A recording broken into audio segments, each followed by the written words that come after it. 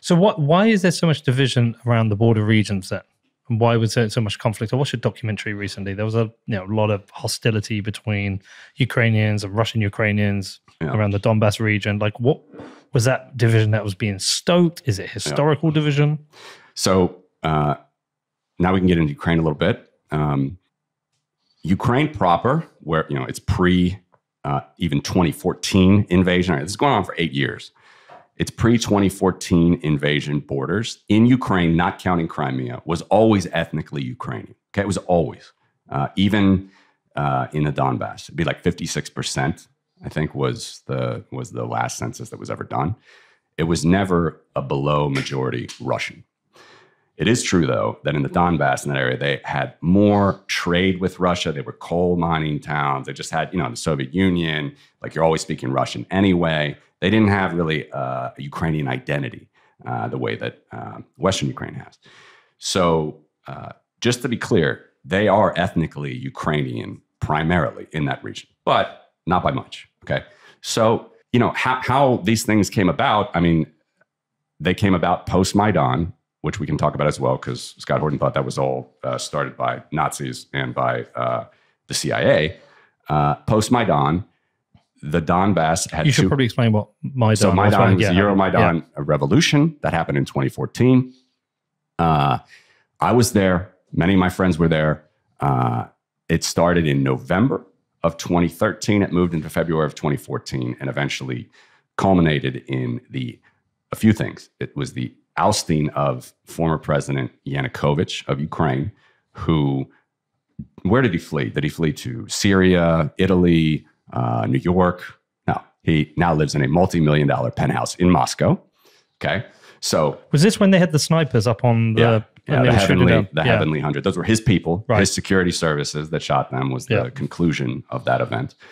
Um, and I was there. It was the most, you know, I'm not a, I'm not an investigative journalist or whatnot. I, uh, I just, you know, have a humble podcast. I have friends in Ukraine, but I can tell you that being there in, uh, it was in February of 2014. It was the most that I've ever felt. I was close to a war front. It was extremely, uh, it was extremely tense. The whole, so what basically what happened is like an Occupy Wall Street, Mhm. but it was Occupy Maidan. Maidan is the Freedom Square in Ukraine. Uh, that's it was basically occupied, and it was a real thing. Okay, about a million Ukrainians came to Maidan and all around Ukraine during that time. And why did they come? Because Yanukovych reneged on one of the first agreements that would have helped for EU accession, moving towards the EU, which Ukraine, a country of 40 million people strong, not at all uh, a country of 40 million Nazis, a country of 40 million people strong, was ready to move towards the EU. They've been agitating for it, they wanted it. And so it was a revolution that actually started by students in November of 2013. I was there, uh, many people were there. It was, it was, it was an unbelievable thing. All right. Uh, trying to think about how deep I want to go here on that issue, but basically, um, Maidan ended with the ousting of Yanukovych. The people got him out, which was a wonderful thing. It was actually the second time. The first time he was out was in the Orange Revolution in 20, 2004. Again, Scott Horton liked to just throw in there that it was all the responsibility of the CIA. Yeah, I was going to say these people, plot. These people have no agency, right? They must just be dumb Ukrainians, all right? Because they have no agency. They can't think for themselves. They, they take absolutely no agency. It's all got to be the CIA. It's it's just remarkable to think that. Now, uh, I want to address one of the things. So, Scott always uh, likes to bring up the Victoria Nuland call, which was a leaked call that after the Maidan had occurred, there were th- there were four factions actually. There was Klitschko, the former boxer, Mhm. uh, his faction. There was uh, Yatsenyuk, and there was uh, Timoshenko. She was uh, jailed, uh, you know, political prisoner basically under the current prior regime. She was her faction. Um, and then it was the Maidan. Maidan itself kind of became a faction. It was a live, like, part of what was going to happen next with the government because Yanukovych fled.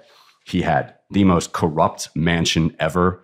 This was like, uh, they turned it into a museum. It was insane. I mean, gold plated toilets, whatever. I'm exaggerating a little bit there, but it was just insane. The stuff that he stole, everything was insane. He also had a black book, by the way, which his party, the Party of Regions, had. It had billions of dollars of bribes over his last uh, tenor, billions of dollars of bribes.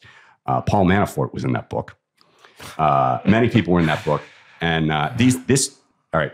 this these signatures were verified. Uh, they would even the remarkable thing is this this black book was signed by some of the party of regions, which is his party, this Donbass region, all right, which was more corrupt, more Putin friendly, more favorable toward Ru- Russia. They signed these these bribes. Like, all right, I agree with you on this one. I'll take the money. It was it had signatures of the people that were basically, you know, you know how corruption works, right? Like everybody's got to be a part of it. If someone wants to get out, you can't get out because you're guilty too. That's how corruption works, right? So they actually had it on paper, and the signatures were verified after the fact. This was found in his uh, in his uh, in his residence, his presidential residence. So anyway, uh, these were all the different factions. It was absolutely not a CIA coup or whatnot, and there was a a phone call that was leaked. All right, uh, Victoria Nuland, who this woman, I mean, she's like the undersecretary of state, I think at the time. She was handing out cookies in Maidan, you know, in, in good U.S. leadership style, not really uh, putting on a good a good face for the U.S. Just it's a it's a bit cheeky, going around handing out cookies during this like revolution, and um, and yeah, and and she they were trying to say who they wanted to get into the new regime, and they said they think it's Yatsenyuk. She said fuck the EU, all this, and it looked bad. It looked bad, but again can you point to that as being that the CIA is something that was running this? Right, Yatsenyuk wasn't even, he was the interim prime minister. Now he's out.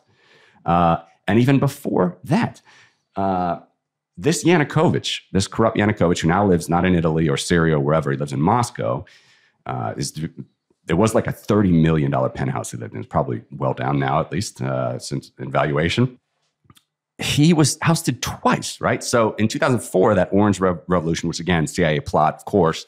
Uh, if you remember Team America, you remember, oh, yeah. um, you know, the puppet who's uh, Yushchenko was his name, who beat him, came back because it was a rigged election. He had like the pockmarked face. He got poisoned. He got poisoned. Uh, of course, Russian influenced uh, election there. And the Ukrainians threw him out then. They got back in because there was a lot of Russian influence in that Donbass region. And then the Ukrainians threw him out again in 2014. Look, is it perfect? Is it an ideal society? No, I absolutely not. I can't.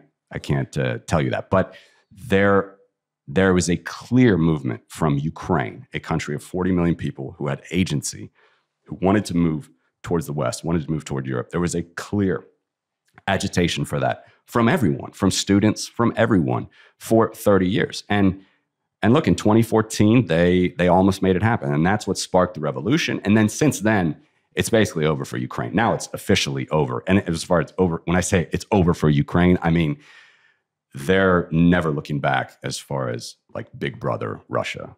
All right.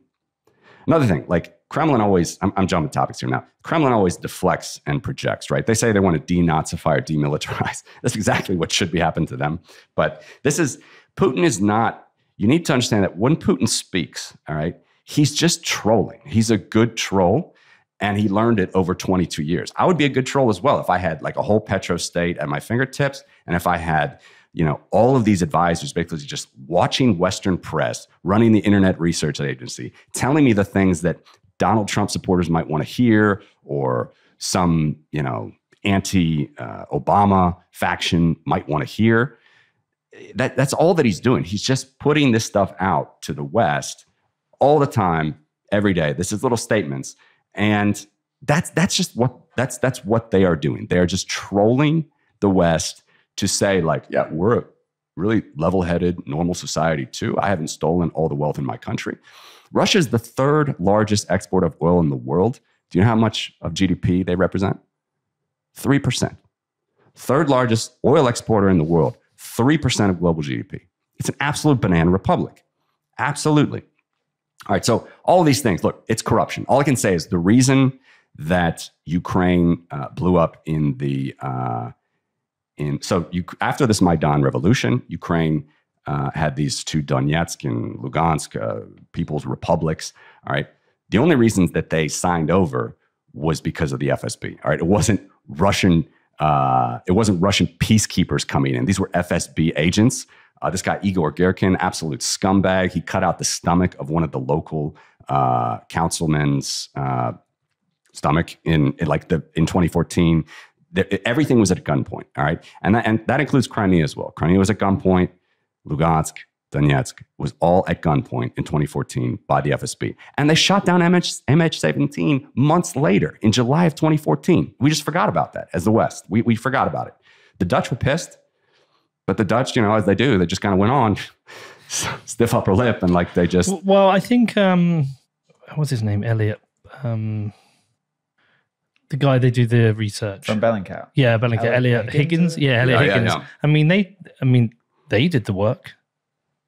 They did the work on MH17. I mean, it, yeah, it's been proven. It's like the 53rd Regiment, I think is the number, uh, just across the border. Um, brought that Buk in that serviced the air missile uh, that took down the plane. Igor Girkin was in charge of that as well as an FSB agent. Yeah. He's an absolute scumbag imperialist. Um, there's so many of them. They were all agitating and doing all this stuff.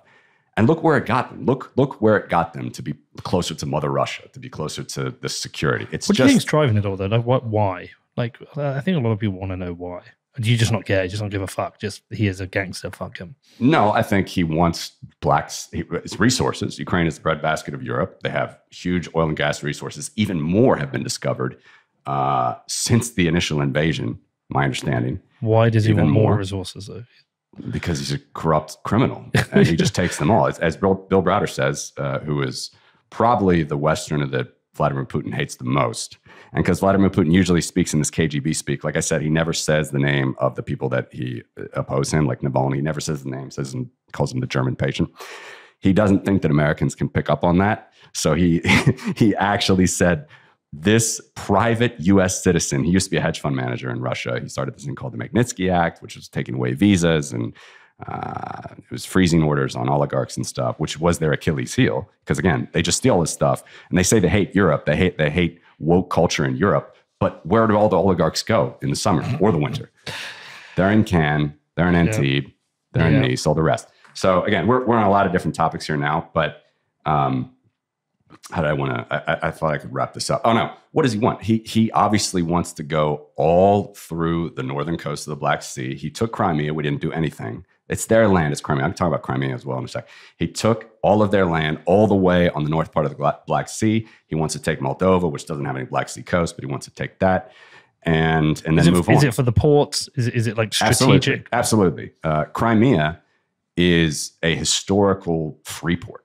Um, and another thing, like this was another thing, Scott, unfortunately, center in your show is like, you know, there was only five people that like this just enraging faux effete care that he was putting towards the people of Crimea. He was like, you know what? Five people died. I'm really sad for those five people that died, but it, that's all that happened. It was a very successful takeover of Crimea.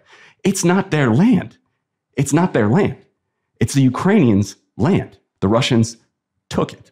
Again, the only Canadian US example that makes sense that Scott Horton should say is if the United States tried to go and take Canada.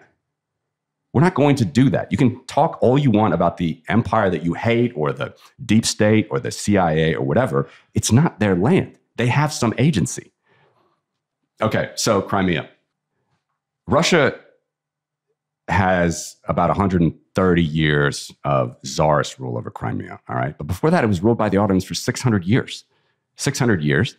And after the czars, it was uh, an autonomous region of the Soviet Union for the first half of the Soviet Union before World War II. After World War II, then it was part of Ukraine. Okay. So you break up the Bolshevik, you break up the you, independent Ukraine. The only time that Russia owned Crimea or had any claim on Crimea was was about 130 years. It was like uh, late 1700s to start of the 20th century, 130 years. And just to say that that's okay that they can take it because at those times uh, that's that was like the claim of the Russian Empire. You gotta you gotta again push on that veneer. There were Jews there, there were Genoese there. It was a free port. I mean, and regardless, it's not, it was not Russia's at the time. It was Ukraine's. Russia, as well as Germany, as well as everybody, signed agreements at the dissolution of the Soviet Union. We gave, by the way, Russia signed an agreement that, and Germany signed an agreement, they gave up Kaliningrad. All right. So again, Scott Horton wants to think that there's like some statute of limitations, but it only goes back to the people that try to prove his point, like Tsarist Russia. All right. Tsarist Russia had the again the Pale of Settlement, the most anti-Semitic uh, group of people in Europe was under Tsarist Russia. And like that, you're trying to make all of these examples to prove your point about the most despicable people of any part of Europe. All right. And when in reality, let's talk about the statute of limitations. Lithuania and Poland had the biggest state in Europe for 500 years. All right, Latvia and Estonia did not. They were more like tribal states. They were more, I don't know. They were they were tribes that were kind of under more of the German Empire most of the time. But Lithuania absolutely was not. Lithuania had the biggest state for 300 years in Europe from about uh, 1300 to 1600. And then from 1600 to 1800, uh, it was Polish Lithuanian Commonwealth. It was the biggest state in Europe before or since, other than the European Union. So, what, what do you want to talk about? Like a statute of limitations. That's that, those are the people that were governing Ukraine. And by the way, when you talk about like who's governing at that time, like it was just to pay your taxes. It's not like Putin was running, or not Putin, uh, like the czar. Sorry, I get Putin and czar. I'm confused a lot, but it's not like the czar was running around, you know, and like just mutilating people and doing things that uh, we've started to do in the 20th century. People could do their business. Uh, people, you know, it was a very this the czarist sort of idea is a very like it's not like there's some it was light touch, let's say, okay. But regardless, Tsarist Russia gave you the pale of settlement. The Polish Lithuanian Commonwealth, if you want to go there, was much older, had more of a dominance of Ukraine than Russia ever did, and they were free. The Jews were free there. The Catholics were free there. This was Lviv, Lemberg in Germany. This is all of, and Kiev as well. All of that was for 500 years. 500 years part of the Polish Lithuanian, the Lithuanian Grand Duchy, then the Polish Lithuanian Commonwealth. And Scott Horton thinks that we need to focus on 130 years of Tsarist Russia.